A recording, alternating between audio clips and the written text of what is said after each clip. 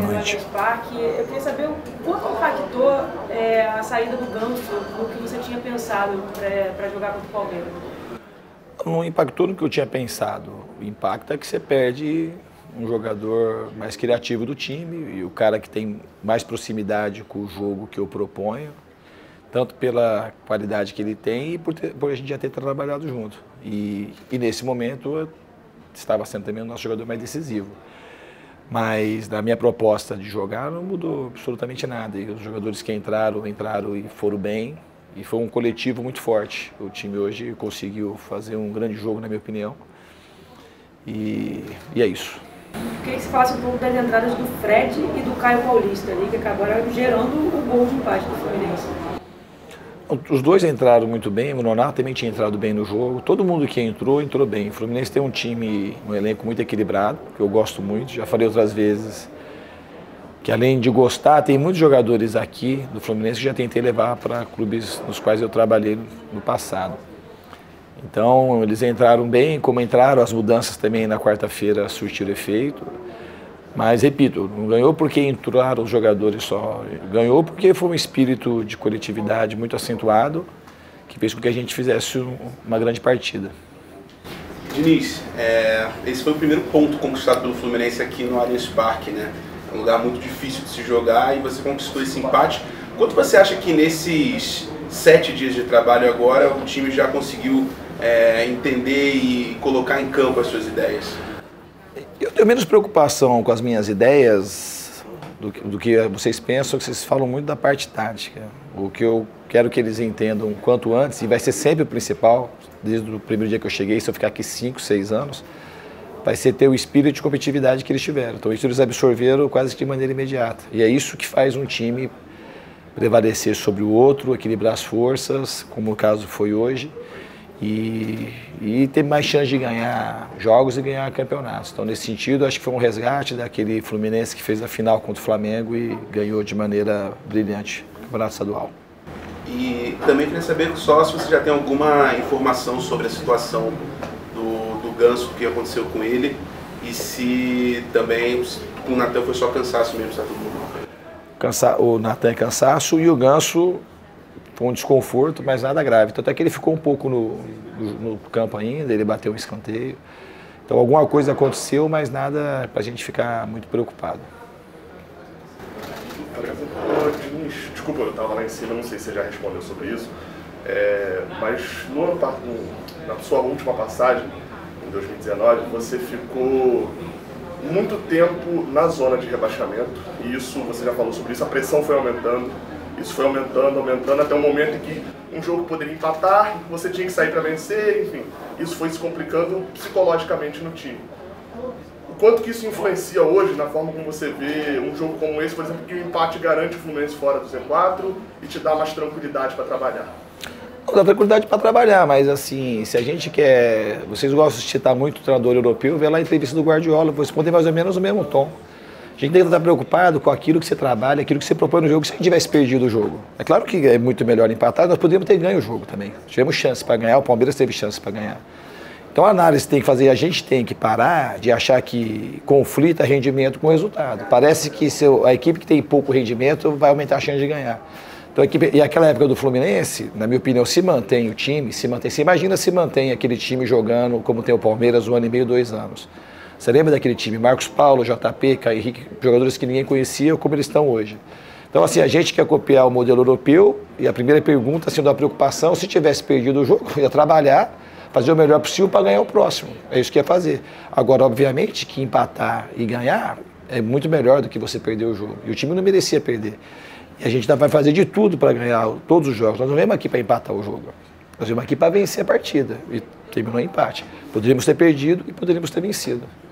Diniz, é, até pelo tempo de trabalho do Abel, né, o Palmeiras é um time que tem todos os seus mecanismos ofensivos e defensivos muito bem organizados, muito bem planejados. É, eu queria que você explicasse um pouco o que é que você planejou para o Fluminense, especialmente com a bola, para tentar bagunçar o Palmeiras, para tentar deixar o Palmeiras desconfortável, especialmente na marcação, já que é um time que costuma ter tudo muito, muito na mão assim durante o jogo. Eu acho que eu não fiz, nesse sentido, eu não fiz nada muito especial para o Palmeiras. A gente avaliou muito o que eles estavam fazendo. É um time que mais passa jogo na televisão. Eu tinha jogado uma vez contra, a gente analisou bastante.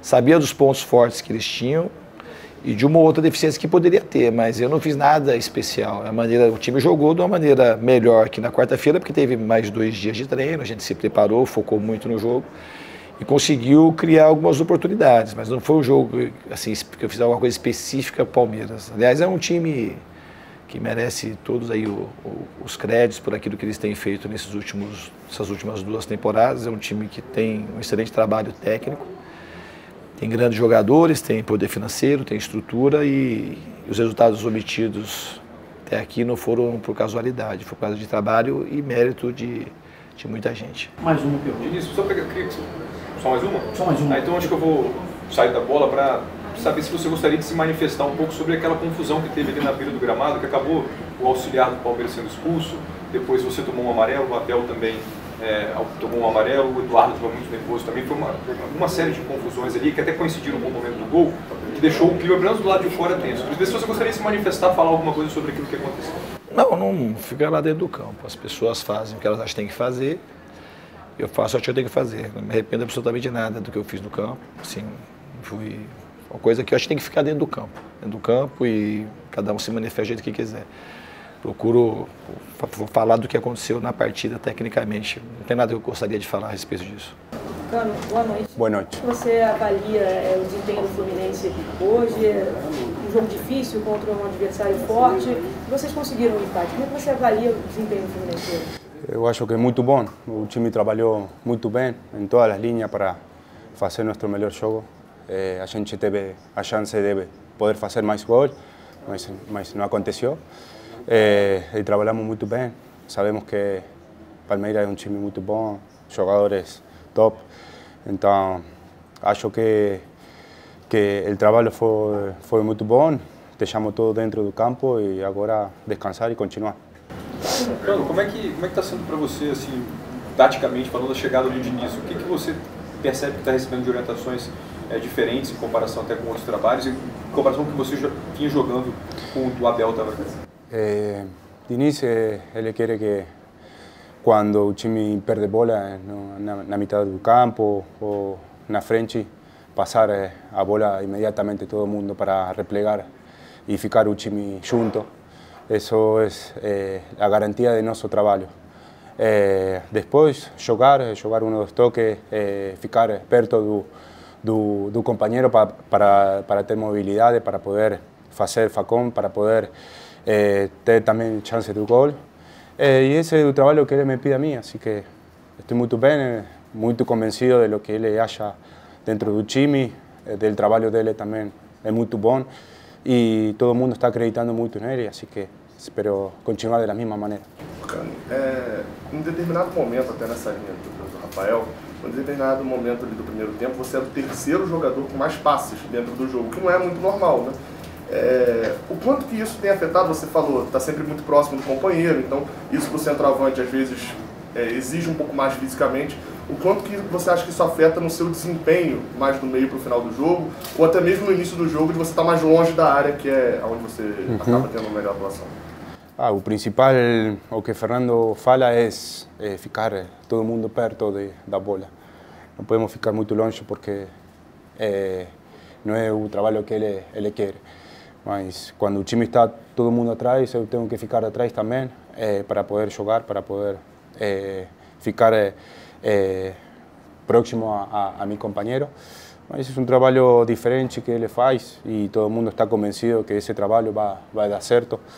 É, não todo mundo faz o que Fernando está, está fazendo, mas eu acredito muito nesse trabalho e não muda, não muda nada. É, meu trabalho sempre é ajudar o time, o principal, e depois é, o time é muito vertical também, temos jogadores muito rápidos na frente e, e aí achamos também um contragolpe rápido para poder finalizar a jogada.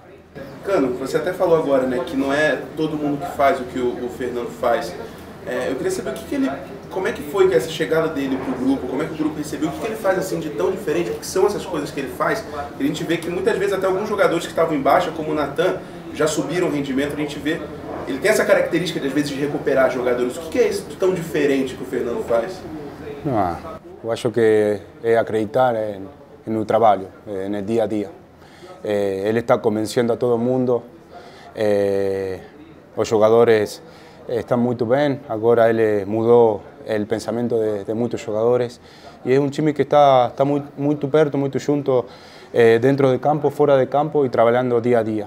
Eh, y Fernando está, está haciendo muy, muy bien ese trabajo eh, para todo el mundo, porque todo el mundo faz parte de, de, de Flu y, y cualquier jugador puede hacer diferencia dentro del campo cuando eh, le toque jugar. Só mais uma, tá? agora uma pergunta fora do jogo. A gente viu que você chegou ali com uma caixa de som, já ouviram um pagode. Eu quero saber, eles já te converteram, os jogadores? Você já adotou um estilo musical aqui no Brasil? Me adoptaram para, para colocar música, assim que eu gosto muito do pagode. Muitos não gostam de pagode, eu gosto e o que não gosta coloca o audífono e, e já era. Assim que eu gosto muito, aí coloco, coloco a música dentro do ônibus e e eu gosto muito do pagode. É o DJ da galera. Ah? É o DJ da galera. É, exato. Obrigado aí.